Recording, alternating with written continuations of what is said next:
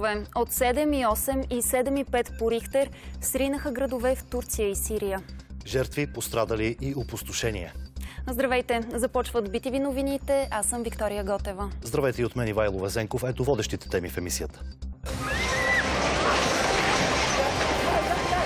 Българин в неизвестност след труса. Оцелелите разказват за ужаса.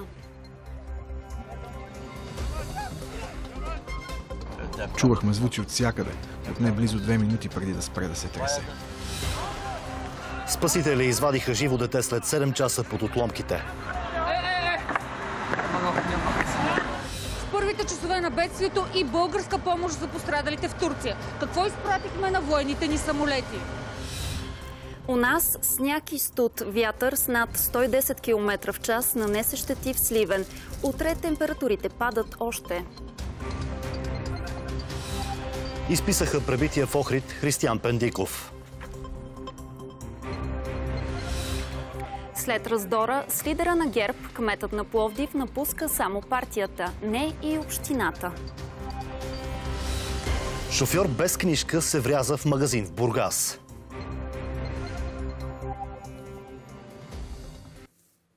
България е първата европейска държава, предложила спасителни екипи и помощи за Турция след серията опустошителни земетресения. Броят на жертвите до този момент надхвърли 2300 души. Военното министерство веднага разпореди към бедстващите да отлетят военните ни спартани.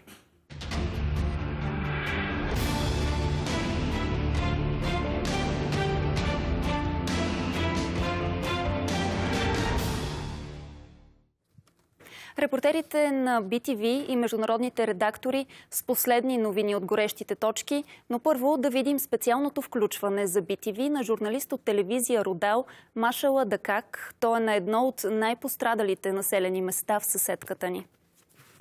Предавам от мястото, където е рукнала 6-етажна сграда в предградието Ахмет Ерсевер на град Шанлурфа. На всеки етаж има по три апартамента. Според оцелелите, най-малко половината от обитателите са под руините. До сега са извадени живе четирима души, от които едно дете. 50 и други такива сгради са рухнали в града. Спасителните операции продължават в целия град. Ако оцелелите не бъдат спасени бързо, ги грози смърт от измръзване, особено децата. Затова всички хора от всички служби работят трескаво за спасяване на оцелелите по възможно най-бързия начин, защото това бедствие се случи в още 9 провинции в страната. Малко след 4 сутринта местно време. Повечето хора спят, когато първото земетресение с магнитуд от 7,8 по Рихтер удря югоисточна Турция. Жилищни сгради се срутват една след друга.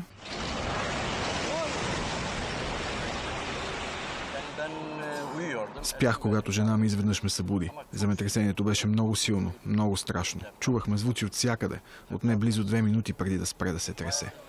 Десет града вече са в развалини, когато по обяд второто силно земетресение от над 7 по Рихтер разтърси същия регион. Драматични кадри показват хаос и бягащи в паника хора, докато около тях рухват блокове. Докато се насочвахме към развалините, за да заснемем издирвателните и спасителните дейности, имаше два последователни вторични труса с силен шум и сградата, която виждате вляво от мен, се срина до основи. Има много прах.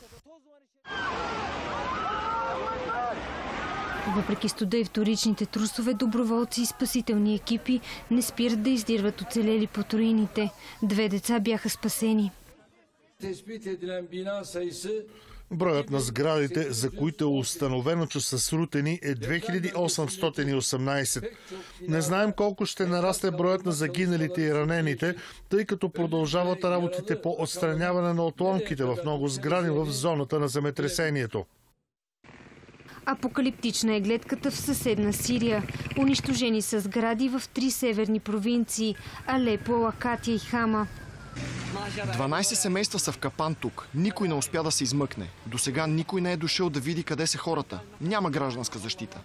Много от засегнатите райони там са под контрола на бунтовниците и са трудно достъпни. Спасители успяха да извадят дете затрупано под отломките в град Азас. Екип на BTV след минути потегля към Адана. С спасителни екипи в самолет Спартан от авиобаза Враждебна в София включваме сега Бесте Сабри. Здравей! Здравейте! След 9 часа се очаква заедно с планински спасителни служби към Българския червен кръст които са 12 души и 5 кучета и 2 автомобила, заедно с оператора Огнян Кръстев, да потеглим с Спартан към най-засегнатите точки от земетресението в Турция. Очаква се да кацнем в Адана. По-рано днес вече излетяха два самолета Спартан към Адана с спасителни екипи от столичната община, както и медици от Военно-медицинската академия. Имаме информация, че помощта вече е пристигнала. До мен е Емил Нешев, който е директор на Планинската спасителна служба към Българския червен кръст, който ще ни разкаже и повече за операцията. Здравейте! Здравейте! Как се реагира в такава ситуация и какво се очаква на терен? Ами, реагира се сложно като цяло, но все пак нали, за това се подготвяме толкова години. А, какво се очаква от нас на терен? В Адана ще ни очакват представители на Турския червен полумесец, които ще ни напъстват към зоните, които трябва да бъдат претърсвани, както и зоната, в която ще, ще трябва да си разпънеме лагера и да започнем действия. Разпределението изцяло ще бъде от тяхна страна, къде има необходимост. Те ще ни водят, те ще ни показват местата, на които трябва да претърсваме. И нашата работа е всъщност това, да локализираме места, на които да трябва да, да бъде търсено живи хора, надяваме се. Имате ли достатъчно екипировка? Какво включва тя? Да, смятам, че всичко необходимо е налично към момента. Тръгваме с всичко необходимо за пълна автономност за 3 до 5 дни, което включва абсолютно всичко, както лагер, така и бивачни съоръжения, така и всичко, което е свързано с оперативната работа на терен. Това са агрегати, зарядни, осветление, отопление, всичко необходимо. И най-важното е, че трябва така да направим, че хората да бъдат все пак в безопасност за тази тежка, тежка ситуация. Благодаря ви, пожелаваме ви успех, ние ще бъдем заедно с вас. Операцията е съвместна работа между Министерството на вътрешните работи и Министерството на отбраната. Очаквайте нашите специални включвания от Юго-Источна Турция в най-засегнатите райони, като Газиантеп, Кахраман Мараш и Адана. Без те, Сабри, благодарим ти. Очакваме вашите включвания. А наш сънародник е в неизвестност след опустошителния трус в Турция. Това съобщи за BTV посланникът ни там Ангел Чулаков. Той също отпътува от Анкара за Адана. Освен спасители с военни самолети в Турция, късно тази вечер пристигат и медицински екипи с специализирани линейки, заяви посланникът ни там Ангел Чулаков има един наш сънародник в Искендерун, кой, с който не е установен контакт. Живее в един от разрушените блокове и в момента на място е баща му. Сънародника, с който се опитваме да установим връзка, е двоен гражданин. Български и турски. Ибрахим Елмъс е българин, който също живее в Адана. Ще прекара тази нощ със семейството си в колата. Сутринта беше, имаше голям трус 4-17 и на обед втори трус и, и двете са над 7. Е, има съборени апартаменти, Адана обаче не е много, както от другите градове. Тук малко по-спокойно. Дъщеря ми живее тук. Моята къща е на 15 км от тук по-далече, обаче сме заедно с внуците. Продължават трусовете на изток. Не могат да влизат хората в къщите си. И тук не може да влизат от страх. В града службите създават организация за полеви кухни, превързочни и пунктове за раздаване на одеяла и топли дрехи. От всички европейски държави идват помощи, включително и от България. И също така от първата помощ е дошла от Азербайджан, която изпрати 350 души. И също така от много други държави. Сигнали за изчезнали се подават на горещи телефонни линии и през полицията. Още в първите часове на бедствието България организира помощ по въздуха и по земя. Част от нашите спасители и техника вече са в съседката ни. Подробностите сега от Християния Червенкова. Добър вечер! Добър вечер от 16-та авиобаза на военно-въздушните сили. Точно така. Съседите помагат първи. Това е доказателство, което България днес демонстрира, защото първи изпратихме от съседните страни помощ към Турция и България протегна ръка към южната съседка. Минути преди 13 часа днес изпратихме помощ по въздух. Тежка техника, спасители и лекари. А малко по-късно днес след обед от Пловдив потеглиха 58 спасители и пожарникари, заедно с 20 превозни средства, които по суша пък ще пристигнат към засегнатите райони от земетресението в Южна Турция. Ето и подробностите. Точно в 12 часа и 47 минути първият самолет излетя към Турция. Пет минути по-късно го последва и вторият Спартан.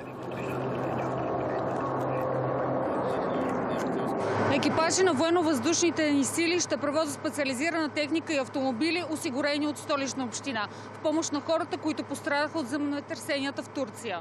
Командирът на 16-та авиобаза каза, че мисията е без аналог.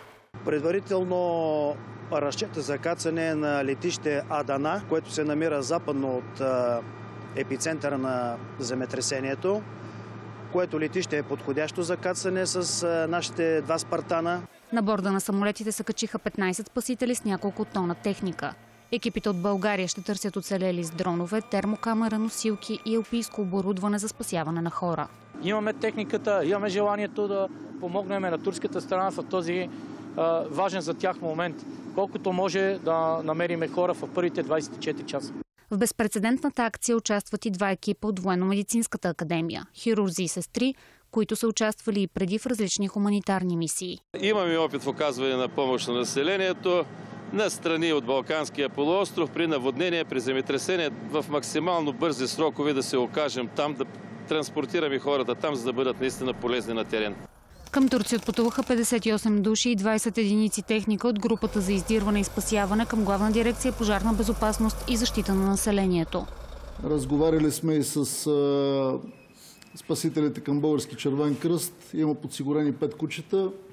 Те също са подсигурили две машини, които да се включат. По най-бързия начин ще бъдат придвижени хората и техниката, за да могат да вземат участие още в първите часове в спасителните операции. Всеки час е критичен. Поради тази причина бяха мобилизирани и нашите спартани, за да не, да не се губи ценно време. Няколко денонощия са критични. 16 спасители са от Пловдивската пожарна. Е, винаги има едно напрежение, разбира се, да. Напрегнато е, не знам какво да очакваме. Вероятно, ако сме на терен и стане последващ трус, мисля, че това ще осложни обстановката, но вярвам в момчетата и ние сме един екип. От ВВС остават в готовност да изпратят и още екипи и машини. студиото при нас сега е професор Николай Милошев, ръководител на Националния институт по геофизика, геодезия и география към Българската академия на науките. Добър вечер. Добър вечер, добър, добър вечер. вечер и на зрителите. Професоре, това е най-силното земетресение в Турция през последния век. Можете ли да направите историческа съпоставка на земетресенията до този момент и се измичан ли е районът там? Че seизмичен, seизмичен е историческата съпоставка при положение, че казваме, че 100 години назад това е най-силното земетресение. Имайте предвид, че преди 100 години нямаше прибори, с които точно да се установява степента на земетресението, така че то е по въздействието, което е оказал. Във всички случаи това е страшно бедствие. Не се страхувам да употребя този епитет, защото наистина е страшно. Последствията ще започнат от тук нататъка. Хубаво е, че нашата държава веднага реагира и веднага се е, отправиха хора. Дори виждам, че и ваши колеги тази вечер път, ще пътуват за там. А, районът е силно измичен. Това е източно-анадолския разлом. Земетресение там е имало, мисля, преди няколко години с доста по-слаб магнитуд, с 6 и половина.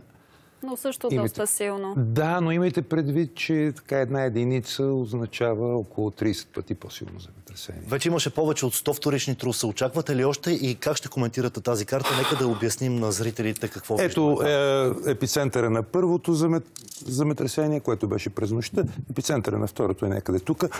Цялата тази черна линия, това е източно-анадолския разлом, а това е северно-анадолския разлом. Виждате, че около тях е концентрирано огромно количество земетресения. За съжаление, това е, е движението на А, целият, Като целият... виждаме северния риск за нас какъв е? Или не само северния, изобщо всички тези червени точки там. Ами вижте, е, е, риска за нас, за България, сравнете е, плътността на точките тук или тук и тук, където е България. Виждаме, че са по-малко. Да, през днешния ден обаче имаше регистрирани трусове и в Румъния, и на територията на България. Свързани ли са Вижте, те? това земетресение в Румъния, както и регистрираното в България, то беше малко преди земетресението в Турция. А, това е нормалната сеизмичност. Нека не, е, така, не бъркаме нещата. Според мен, е, последствия от това земетресение за България не би трябвало да има. Да, аз това, да, сега виждаме друга карта, която е а, на Същия Европейската регион. комисия. Същия регион. Това са двата разлома, пак, които Ами виждаме. ето ги. Да, да, те, те тук просто са показани по-ярко, но и, и без бройката земетресения около тях. На предишната карта всяка точка е земетресение. Много ви благодарим за този разговор. Благодарим ви, че бяхте с нас и дадохме още по-голяма плътност на това, което се случва, както вие го нарекохте, опустошително. Опустошителна, наистина. А сега ще покажем на нашите зрители как помага светът. С последно обобщение от Ньюзрума включваме нашият международен редактор Яна Бързакова. Яна, здравей!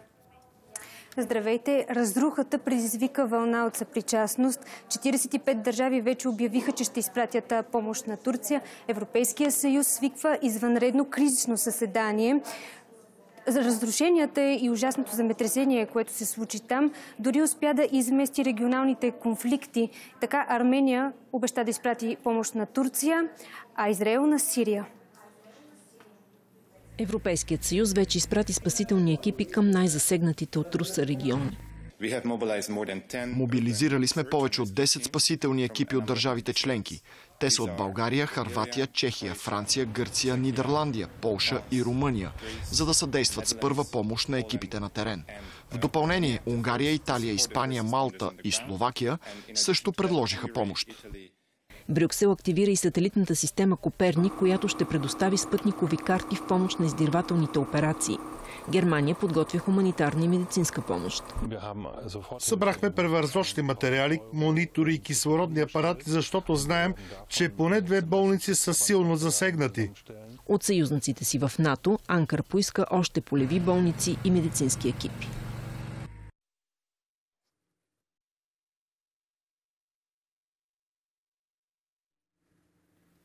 Темата е водеща и в продължението на новините.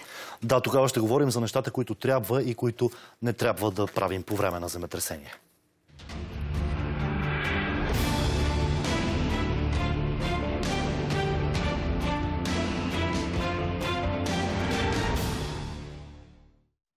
Християн Пендиков беше изписан от Военно-медицинската академия, където беше настаден след побоя в Охрид. Лечението на българина ще продължи в извънболнични условия, съобщиха от ВМА. По-късно Пендиков беше прият от президента.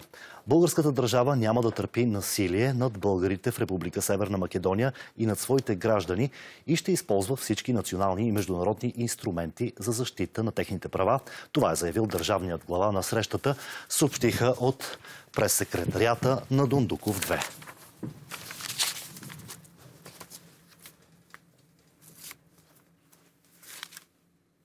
В същото време България изпрати три генератора за контролно-пропускателните пунктове в Северна Македония. Това каза вице-премьерът Иван Демерджиев два дни след като токов удар попречи на десетки българи, тръгнали към Скопие, да честват 151-та годишнина от рождението на лидера на ВМРО Гоце Делчев. Още сега от Теодор Анчева. Добър вечер. Добър вечер. Насилието и провокациите раждат насилие и провокации и този порочен кръг трябва да бъде прекъснат. Това каза още вице-премьера и министър на вътрешните работи Иван Демерджиев. Той анонсира, че до края на седмицата ще има още една среща с македонския си колега Оливер Спасовски. И този път тя ще бъде проведена на територията на България, а не в Скопие. Независимо от проявите на враждебност, дискриминация и омраза срещу нашите сънародници, оттам не спира вълната от желание за придобиване на български лични документи. Този извод можем да направим от броя на заявленията за доказано българско потекло, които получихме от нашите консулства в Битоля и Скопие, както и от Министерството на правосъдието от нас. Вижте повече. Наред с българските граждани и официалната делегация била подложена на необяснима проверка, каза Демерджиев. Над 40 минути бяха проверявани полицейските сили, които беше одобрено да ме придружават при тази визита. Поддържаме комуникацията, но много ми се иска македонската страна да разбере, че пътя към добрите добросъседски отношения и пътя към Европа преминава през действия, а не през думи. По-късно днес македонския президент Стево Пендаровски риторично призова да му се обадят лично българите, които не са се държали агресивно на 4 февруари. Доаенът на българите в Северна Македония Владимир Перев не е оптимист, че скоро ще има затопляне в българо-македонските отношения и според него не бива да се очаква, че инициативата ще дойде от Скопие. Цялата тежест на разрешаването на, на въпроса остава на българската страна. Тие трябва да си кажат своето мнение, тие трябва в институциите на Европейския съюз да обяснат за какво става дума и тие трябва перманентно да засипват европейските институции с позициите на исторически за Македония, но най-вече за човешките права на македонските българи. Същевременно, само през последните 6 месеца от Северна Македония са подали документи на основания български происход около 2000 души. А за последните 15 години броят на македонците с български паспорти са общо около 90 хиляди. Повече половината за същия период, които са получили българско гражданство. За BTV новините, Теодора Енчева. BTV новините на 6 февруари продължават с опасното време и ледените дни, които се задават. Температурите ще паднат още. Силен вятър порази Сливен, а снегът създава проблеми на пътя. Зимната обстановка обобщаваме сега с нашите репортери. Здравейте! Първо към Марияна Трифонова и прохода на републиката. Добър вечер. Сняг вали в почти цялата Великотърновска област. Пътища са, пътищата са проходими при зимни условия. Към този момент няма затворени участъци и въведени ограничения. Ние се намираме в прохода на Републиката по северния склон. Виждате как изглежда пътното платно към а, този момент. Седем машини се грижат а, за прохода на Републиката към този момент един от снегорините минава в момента, вероятно за това и толкова шумно. Иначе до преди броени минути трафика тук беше доста натоварен. Към момента като че ли започна да се поуспокоява, но все пак водачите трябва да бъдат много внимателни на места, камионите буквално пъплят и това изнервя шофьорите на леки автомобили. Както казах, няма затворени пътни участъци към този момент. С понижаването на температурите обаче не са изключени и образуването на заледени участъци. Пътните експерти съветват водачите на автомобили да бъдат особено внимателни, преминавайки през мостовите съоръжения. За сега проходът на републиката остава отворен, но и обстановката е доста динамична. Благодаря, Мариана. А сега към Сливен, където скоростта над вятъра надхвърли 110 км в час. Какви щети нанесе, ще разберем сега от Дания Танасова. Здравейте от Сливен. Всъщност пика на поривите на вятъра беше в късния следобед, когато скоростта му достигна 125 км в час. Той няколко пъти отнесе защитните ленти, които бяха опънати тук в детска градина Сенчет след инцидент рано сутринта, когато падна част от покривната конструкция. Няма пострадали, но имаше десетки сигнали към община Сливен, откъдето казаха забитиви, че вятърът ще бъде силен и тази нощ, а утре се очаква да стихне. Поривите на вятъра започнаха потъмно и се засилиха през деня. Сигналите за паднали клони, скъсани кабели и рекламни платна бяха десетки. Вятърът отнесе част от покрива на детска градина. Но при този вятър нищо не може да се качим горе. Те снимките и утре може да се направят. Въпросът е в момента да не допуснем инцидент с падащата парчета от хидроизолацията. Дворът на детската градина е обезопасен, но все още не е ясно какви са щетите. Лицето, което изпратих от общината, искаше да се качам горе на покрива, но много е силен вятър и решихме да не рискуваме. Откъде ще минават родителите после? Ще заобикалят. Те няма как, трябва да се приемат децата тук от двата централни входа. Силният вятър събори пътен знак в квартал Коцухор. Без ток останаха в местността Карандила и десетки домакинства в сливане в селата. Пътят към връх Българка беше затворен заради високи преспи и вятър. Всичкото на пътя беше. Да. На два пъти са го изтласкали. От тук нататък падрома или Роторенска връх. В Сливен ставали свидетели на още по-силни пориви. Вятър с 110 км в час не ги оплаши. За битиви новините Дания Танасова. Тази сутрин температурите в много области бяха под нулата, предимно между минус 8 и минус 2 градуса. Ще става ли още по-студено? Прогнозата следи Борислав Лазаров. Здравей! Здравейте! Днешните ниски температури всъщност са обичайни за първата половина на месец февруари. Ето и в кои населени места тази сутрин беше най-студено. Започвам, разбира се, с обичайното Кнежа. Там отчетоха минус 12 градуса. Минус 11, например, беше минималната температура в Чепеларе, а до минус 10 градуса се понижи температурата в Драгоман, Самоков и Банско. В София сутринта беше минус 7 градуса. Тези стойности са далече от рекорда за най-студено време през този месец февруари. Отчетен е рекордът на 5 февруари 1950 година в Севлиево, когато термометрите са показали там минус 35 градуса. А добрата новина е, че към петък предстои постепенно, но все пак слабо повишение на температурите. Утре обаче отново насочвам вашето внимание към предупредителния жълт код. Отново ни очакват температури около и под минус 10 градуса. Предупредителният жълт код въжи в северна, западна и част от Южна България. Благодаря. Още полезна информация очакваме в прогнозата. 28 годишен шофьор без книжка влетя в Зеленчуков магазин в центъра на Бургас. По чудо няма пострадали. В магазина е имало хора, които се разминали на метър от влезлия през витрината автомобил. Но шофьора, който никога не е имал книжка, му прилушало и изгубил контрол. Пробите му за алкохол и наркотици са отрицателни. Колежката, която е била на смяна, я пратихме да се ходи, понеже беше много оплашена и трепереше. Добре, че не е била в тази част на магазина, била е за штанда.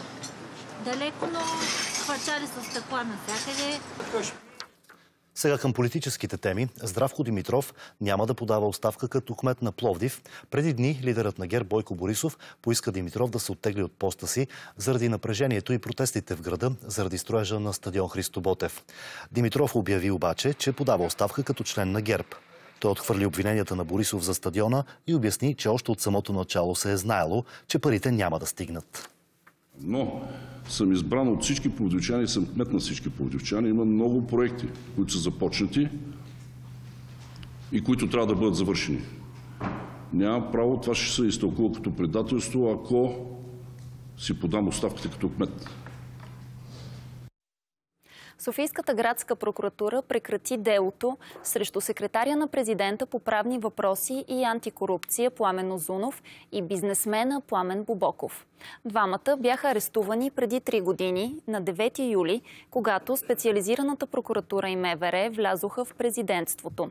По-късно двамата бяха обвинени за търговия с влияние.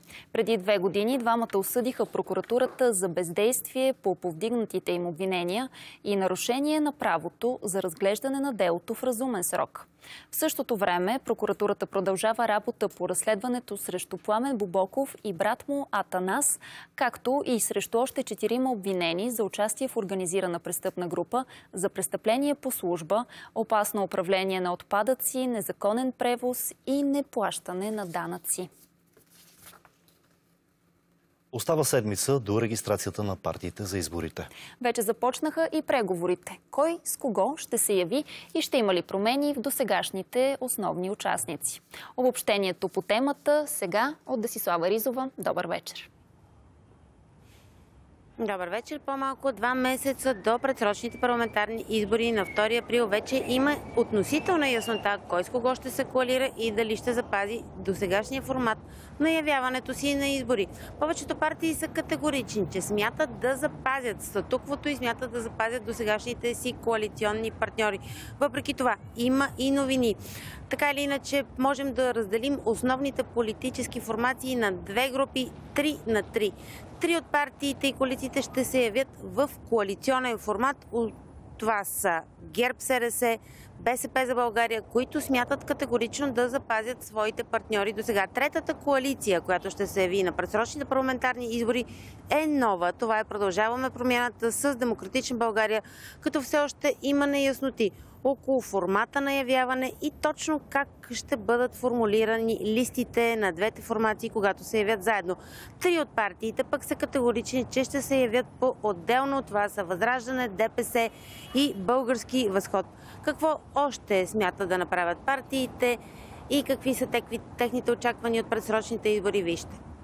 Според президента Росен Плевнелев и излъчен за преговарящ от ГЕР в предишния парламент, обединението на Продължаваме промяната и Демократична България прави диалога за кабинет още по-труден и губят шанса си да бъдат балансьор. Продължаваме промяната като една ляво популистка партия, вървят надолу. Този тренд много трудно се обръща. Практически в момента Демократична България спасяват Продължаваме промяната. Демократична България отговориха. Обединението отнема време, защото се търси синергия. Има поне три гледни точки по този въпрос. Едното е, че двете формации ще имат по-малко, отколкото всяка една по-отделно. Другото е, че двете формации ще имат повече. И третото е, че двете формации ще бъдат толкова. Аз лично съм привърженик на това, че когато има достатъчно подготовка преди това и ясно разписани критерии, по които се случва комбинирането, тогава а, ползата ще бъде превишаваща чисто математическия сбор. ГЕРБ СРС и БСП за България запазват коалициите си. Не се предвиждат промени в коалиционната формула. Запазваме наименованието именно БСП за България, в която коалиция е включена БСП, Екогласност и Клуб Тракия. Възраждане ще се явят сами, както и до сега. Възраждане ще се яви единствено и само самостоятелно. Защо? Защото не виждаме нито една политическа формация, с която бихме могли да направим каквито и да било коалиционни договорки. Още повече, че нашите собствени избиратели не биха одобрили коалиция с когото и да било. И ДПС и Български възход вече официално обявиха, че няма да правят промени в структурата си за вота, а тя е за индивидуално явяване. За BTV новините Десислава Ризова. Овладяване на растящите цени на хранителните стоки, това ще бъде приоритет номер едно на второто служебно правителство на Гълъб Донев. Служебният премьер сподели начините, по които ще го постигне на форум, организиран от списание The Economist в София. Герана Венкова е там. Добър вечер, Гери. Добър вечер и от мен. Това е третото издание на този форум в България. А тази година специален гост и лектор на него ще бъде държавният глава Румен Радев. Иначе на събитието заглавено светът през 2023 година служебният премьер Гълъб Донев сподели пред участниците, че първият му кабинет, назначен през лятото на миналата година, е трябвало да действа като цитирам екип за бързо реагиране за справянето с много кризи, като той даде и пример енергийната и мигрантската, свързана с войната. Донев отчете обаче, че тогава първото правителство е овладяло тези кризи. А сега, приоритет номер едно на втория кабинет на Гълъб Донев ще бъде овладяването на ценовата криза. По какъв начин той обясни, възложил е вече анализ, чието резултати той очаква да му бъдат отчетени утре на начинът по който се образуват цените в страната. Ето и още. Спрямо резултатите от този анализ ще търсим възможните решения за спирачка на покачването им но искам ясно да заявя, че не приемам аргумента такива цени, такива са цените навсякъде в Европа. Трудно можем да говорим за стабилност и растеж, когато цените на основните хранителни стоки ужасяват хората в България. Нов сблъсък в Народния театър. Актьорът Евгений Будинов вече не е част от спектакъла Хъшове с режисьор Александър Морфов. За казуса се разбра от видео и пост на депутата от ГЕРБ Тома Биков и от думите му се разбра, че е по политически причини. Будинов беше депутат от партията в 44-я парламент. Евгений Будинов днес е в Хасково за постановката Вечеря за глупаци. Хъшове играе 15 години, дори и като депутат. А през лятото на миналата година разбира, че няма място в спектакъла на режисьора Александър Морфов. В този разговор той ми каза в прав текст, че не ме маха заради актьорските ми качества, напротив харесваме като актьор. Ще му липсвам представлението, но ме маха само защото аз съм част от политическа партия ГЕРБ. Заради политическите ми пристрастия, които се разминават от неговите и така. За мен Александър Морфов в последните години се превърна от младия Люк Скайлокър в Дарк Вейдър на българския театър. Даже и Дарк Вейдър не е това е моето мнение. Потърсихме за коментар и режисьор Александър Морфов, който ни отговори в писмена форма. Журналисти попитали Евгений Будинов. Защо решихте да се кандидатирате за депутат? Не виждате ли какво става? Управляващите се затънали в корупция, безделие и лукс. И вие искате да промените всичко това? Искам да участвам във всичко това. Стар виц. Гецка, гецка. Мекере беше, мекере си остана. По думите на Морфов, Будинов, цитирам, няма морал за ролята в Хъшове, в която играеше мравката. Започна най-голямата стачка в историята на британските здравни служби. Десетки хиляди медицински сестри и служители от спешната помощ не отидоха на работа. Те настояват за по-високи заплати. От Лондон предава Васил Христов. Добър вечер. Добър вечер. Здравните работници настояват за повишаване на заплащането така, че то да отрази най-високото ниво на инфлацията в Великобритания от 4 десетилетия насам. Правителството твърди, че не може да си позволи това и че повишение за заплатите ще предизвика допълнителен скок на цените, което пък ще доведе до скок и на лихвите, и на ипотечните плащания. Спорът за заплащането оказва допълнителен натиск върху Държавната национална здравна служба, която само за миналата година са напуснали 25 000 медицински сестри. В най-голямата стачка в 75 годишната история на службата днес и утре протестират сестрите. Служителите на спешната помощ няма да се явят на работа и в петък, а физиотерапевтите в четвъртък. Очаква се тази седмица да има най-много сътресения в работата на здравната система на Великобритания от нейното основаване до сега. Колеги, Васил Христов от Лондон, благодарим ти. В BTV новините следва среща с част от българите, които помогнаха на Турция при разрушително земетресение от 1999 година. Жертвите тогава надхвърлиха 17 000 души. За спасителите и спомена, който пазят, разказват Емил Кацаров и Кристина Налбантова. Отново около 3 сутринта и отново с магнитуд над 7. 7,6 по Рихтер удрят северо-западна Турция. От София към град Измит потеглят спасители от Червения кръст заедно с 10 кучета. Сред тях е и Райчо Тодоров. Там се сблъскваш не само с развалените. В нас работи онова усещане, че часовника за пострадалите вътре е, непрекъснато върви. Най-яркият му спомен остават спасените. С колегата Методи Тодоров имахме така възможността в разрушена сграда да открием в мазето пет човека живи. Просто беше невероятно, че бяха издържали в едно мазе почти полулегнали над две денонощия. За измит тръгват и пожарникари и спасители от гражданската защита. Най-яркият спомен е паниката в местното население. Най-важното правило спасител да осигури своята безопасност, за да има шанса да помогне на пострадали. Сред ръководителите на тази акция е комисар Барзилов. Спомня си, че пристига в Измит 24 часа след труса. Много сгради бяха паднали, затрупани хора, горящи сгради. Нашите спасители извадиха трима човека, доколкото си спомням от развалините под затисати сгради. Това е много, много трудно търсенето, защото под плочите нищо не се вижда, срутвания. Българските огнеборци имат решаваща роля и за овладяването на пожара в голямата нефтена рафинерия в близост, избухнал вследствие на земетресението. Ще се върнем към тази тема отново в продължението на новините след спорта и времето. Какво трябва да правим и какво да не правим по време на земетресение? Останете с нас.